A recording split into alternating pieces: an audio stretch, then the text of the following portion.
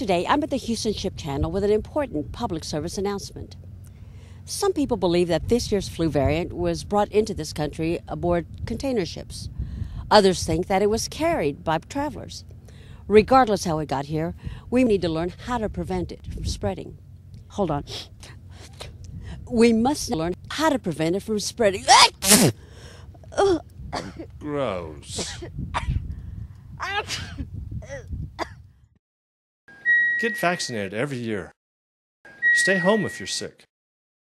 Always cover coughs and sneezes. Wash your hands often and protect your good health. For more information, visit www.flu.gov.